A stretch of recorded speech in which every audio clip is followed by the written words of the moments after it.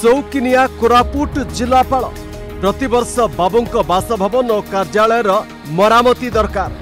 ବଙ୍ଗଳା ସାଜସଜ୍ଜା ଓ ମରାମତି ପାଇଁ ରାଜକୋଷରୁ ସବୁ ବର୍ଷ ଖର୍ଚ୍ଚ ହେଉଛି ଲକ୍ଷ ଲକ୍ଷ ଟଙ୍କା। ସୂଚନା ଅଧିକାର ଆଇନ ବଳରେ ମିଳିଥିବା ତଥ୍ୟରୁ ଏହାର ଖୁଲାସା ହୋଇଛି। ନଜର ପକାନ୍ତୁ ଏହି ତଥ୍ୟ ଉପରେ। ବର୍ଷ ଦୁଇହଜାର ଚଉଦ ପନ୍ଦରରେ କୋରାପୁଟ କଲେକ୍ଟରଙ୍କ ବାସଭବନ ପାଇଁ ଖର୍ଚ୍ଚ ହୋଇଥିଲା ପାଞ୍ଚ ଲକ୍ଷ ଅଣଚାଳିଶ ହଜାର ପଞ୍ଚତିରିଶ ଟଙ୍କା।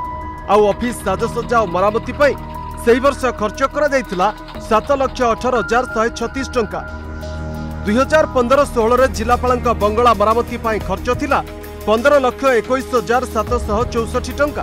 ସେହି ବର୍ଷ ଅଫିସ ବାବଦକୁ ଖର୍ଚ୍ଚ ଥିଲା ଚବିଶ ଲକ୍ଷ ଏକୋଇଶ ହଜାର ଚାରିଶହ ପାଞ୍ଚ ଟଙ୍କା।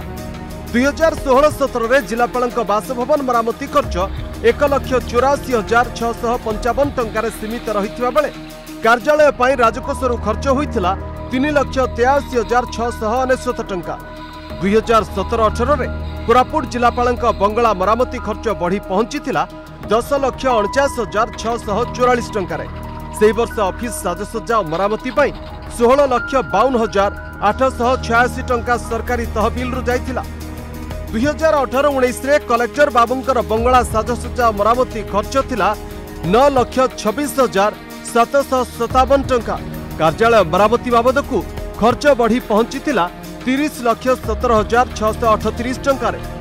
ଅର୍ଥାତ୍ ପାଞ୍ଚ ବର୍ଷରେ ଜିଲ୍ଲାପାଳଙ୍କ ବାସଭବନ ଓ କାର୍ଯ୍ୟାଳୟ ମରାମତି ପାଇଁ ସରକାରୀ କୋଷରୁ ଏକ କୋଟି ଚବିଶ ଲକ୍ଷ ପନ୍ଦର ହଜାର ଛଅଶହ ଉଣେଇଶ ଟଙ୍କା ଖର୍ଚ୍ଚ ହୋଇଛି। ପାଞ୍ଚ ବର୍ଷ ଭିତରେ କୋରାପୁଟ ଜିଲ୍ଲାପାଳ କୋଟିଏ ପଚିଶ ଲକ୍ଷ ଟଙ୍କା ଖର୍ଚ୍ଚ କରୁଛନ୍ତି ତାଙ୍କର କେବଳ ବାସଗୃହ ଏବଂ ଅଫିସ୍ ମରାମତିରେ। ବାସଗୃହ ମରାମତିରେ ହାରାରେ ଚାଳିଶ ବୟାଳିଶ ଲକ୍ଷ ଟଙ୍କା ଏବଂ ଅଫିସ୍ ମରାମତିରେ ମୋର୍ ଦ୍ୟାନ୍ ଏଇଟି ଲାକ୍ସ କଥା ହେଉଛି କୋରାପୁଟ ଜିଲ୍ଲା ହେଉଛି ସବୁଠାରୁ ଗୋଟେ ଗରିବ ଆଦିବାସୀ ଅଞ୍ଚଳ ଜିଲ୍ଲା। ଯେଉଁ ଜାଗାରେ ଶିଶୁ ବିକ୍ରି ଶିଶୁ ମୃତ୍ୟୁ ଏବଂ କୁପୋଷଣତାର ଶିକାର ହେବା ପିଲା ଏସବୁ ଘଟଣା ଘଟଣା ଘଟୁଛି। ସେସବୁ ଜିଲ୍ଲାରେ ହ୍ୟୁଜ୍ ଟଙ୍କା ଯାଉଛି ଆଦିବାସୀ ଅଞ୍ଚଳର ଲୋକମାନଙ୍କର ବିକାଶ ପାଇଁ। କିନ୍ତୁ ସେଠି ଏଇ ଯେଉଁ ଅମଲାମାନେ ରହିଲେ ସେ ସ୍କିମ୍ ଗୁଡ଼ାକୁ ଯେତିକି ଲୁଟ୍ କରି ଖାଇଲେ ଖାଇଲେ ପୁଣି କିଭଳି ଭାବରେ ସେଇ ଟଙ୍କାରେ ଗୋଟେ ରାଜକୀୟ ଜୀବନଯାପନ କରିବେ ସେଇ ଆଭିମୁଖ୍ୟ ନେଇକିରି ଏସବୁ ଅର୍ଥ ଏମାନେ ଲୁଟ୍ କରୁଛନ୍ତି ଏବଂ ମନ ଇଚ୍ଛା ଖର୍ଚ୍ଚ କରୁଛନ୍ତି ଯେଉଁଟାକି ସୂଚନା ଅଧିକାର ଆଇନରେ ଖୋଲାସା ହେଇଛି। ସରକାରୀ ଯୋଜନାଟା ଠିକ୍ ଭାବରେ ଲୋକମାନେ ପହଞ୍ଚିବ ପଇସାଟା ପ୍ରପରଲି ୟୁଜ୍ ହେବ ସେଇଟା ହେଉଛି ତାଙ୍କ ଦାୟିତ୍ୱ। କିନ୍ତୁ ସେମାନେ ଯଦି ଲୁଟ୍ କରିବେ ସେ ଟଙ୍କାକୁ ଅପବ୍ୟୟ କରିବେ ତାହେଲେ କ'ଣ କରା ବିଚାର କରାଯିବ? ଇଏ ଭାତହାଣ୍ଡିରୁ ଗୋଟିଏ ପରି ମାତ୍ର ଜଣେ ଜିଲ୍ଲାପାଳଙ୍କ ବଙ୍ଗଳା ଅଫିସ ସାଜସଜ୍ଜା ଖର୍ଚ୍ଚର ବିବରଣୀ।